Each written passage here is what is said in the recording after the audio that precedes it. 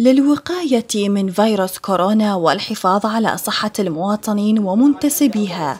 ستة أشهر دام تعليق العمل في مواقع التسجيل وإصدار الإجازات التابعة لمديرية المرور العامة في عموم العراق نظرا لما تشهده تلك المواقع من زخم بشري.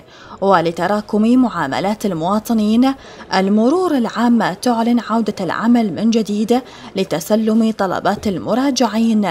وفق آلية محددة. أي ضابط أي منتسب أظفره مشي معاملة. أو رايد يمشي معاملة. أو رايد أو رايد. يعني طاب لهنا مواطن ما جاء اسمه بالبوابة ما يلوم إلا نفسه.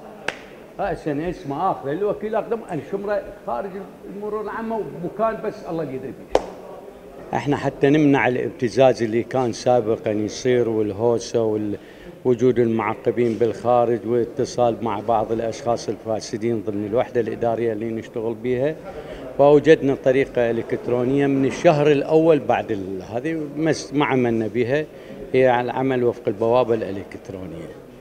يعني المراجعة راح تكون فقط على البوابة الإلكترونية فأنصح المواطنين لا يتوسط ولا يتعب روحه ولا أصلا ولا تمشي معاملته وحتى لو يجي يمي وأقول له يروح بس ما تمشي معاملته. فلذلك ننصح أغلب المواطنين وجميع المواطنين بأن يدخلوا على البوابة الإلكترونية لمديرية المرور العامة ويحجزون سواء كان بيع أو شراء تسجيل لأول مرة أو أي مراجعة أخرى لمديرية المرور العامة وهي طريقة حضارية وأيضا تغتسل التعب للمواطن يراجع مرة واحدة بدل ما يراجع عدة مرات وتوسط بينما هذا راح ينحجز له موعد معين يجي على الموعد مالته تنجز معاملته في نفس اليوم. ولاستيعاب أعداد المراجعين حددت ساعات العمل لاستقبال طلباتهم من الساعة الثامنة صباحا وحتى السادسة مساء مع التشديد على ضرورة التزام المواطنين بكافة الإجراءات الوقائية الصحية للحفاظ على سير العمل الذي أدى توقفه إلى تراكم الآلاف من المعاملات في كل موقع من مواقع المديرية. الملاحظة الأولى هي إحنا راح نستقبل فقط تسجيل أول مرة مو كل أنواع المعاملات هاي بالفترة الأولى إن شاء الله.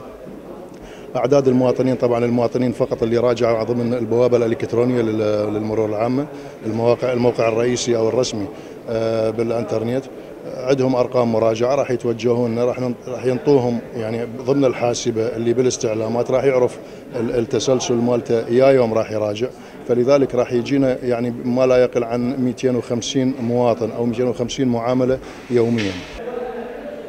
إلكترونيا تعاود مديرية المرور العامة العمل من جديد بعد توقف دام لأشهر وتدعو المواطنين إلى بدء الدخول عبر بوابتها الإلكترونية للحصول على أرقام المراجعة لضمان حقهم في إكمال المعاملات الرسمية إلا أن ضعف خدمة الإنترنت تسبب بحالة من القلق وسط زخم المتقدمين.